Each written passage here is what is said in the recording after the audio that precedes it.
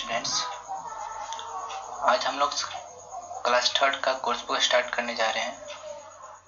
सबसे पहले आज हम ब्रूस नेंस्की द्वारा लिखा हुआ पोयम पढ़ेंगे जिसका नाम है टू बिज़ी पोयम का हिंदी करने से पहले मैं आपके लिए इस पोयम को डिक्टेट कर देता हूँ पढ़ देता हूँ। I folded all my laundry and put it in the drawer I've changed my linen, made my bed, and swept my bedroom floor. I've emptied out the garbage and fixed tomorrow's lunch. I've baked some cookies for dessert and given Dad a munch. I've searched the house for pencils and sharpened every one. There are so many things to do when homework must be done.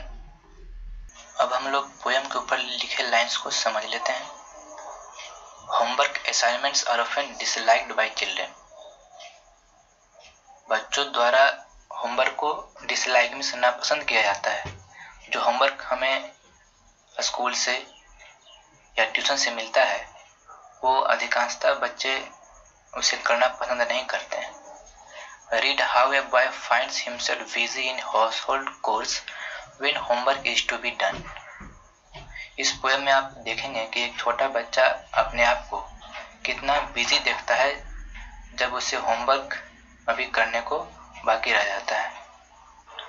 अब हम लोग poem का line by line Hindi समझते हैं। I folded all my laundry and put it in the drawer मैंने अपने सारे धुले कपड़े को मोड़ दिए हैं और उसे ड्रॉवर में दराज में रख हैं।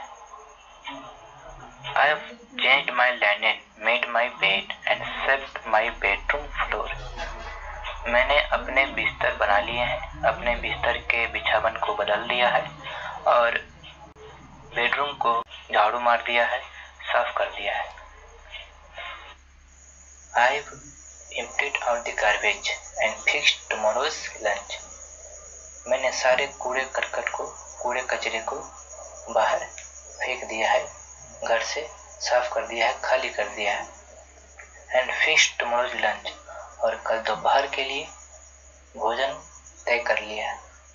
I have baked some cookies for dessert dessert means sweet material एक मीठा पदार्थ जो खाना खाने के पश्चात, खाना खाने के बाद खाया जाता है I have bake some cookies for dessert dessert के लिए मैंने कुछ मीठे बिस्किट सेक दिए हैं।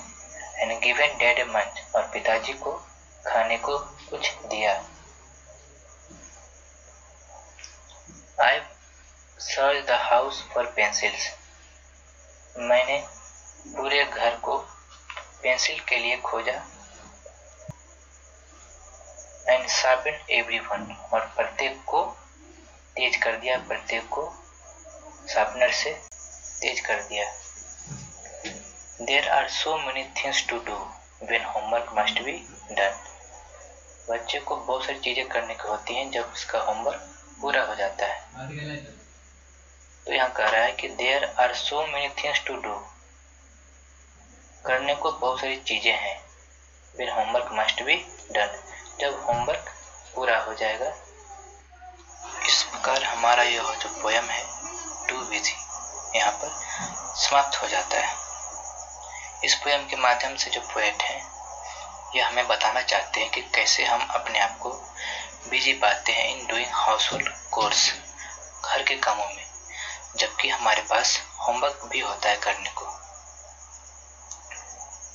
यहाँ इस पोएम में जो लिटिल बॉय है, वो अपने आप को बिज़ी रखता है। घर के कामों में, जबकि उसके पास होमवर्क करने को भी बाकी है।